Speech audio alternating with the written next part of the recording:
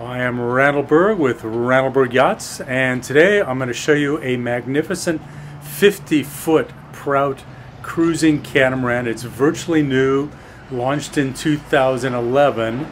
It's a loaded boat, every possible option. A friend of mine had a custom built. Come by and take a look at it and sail to Vanuatu or the Philippines or wherever you want to go. This is the kind of boat you can do it in. Thank you.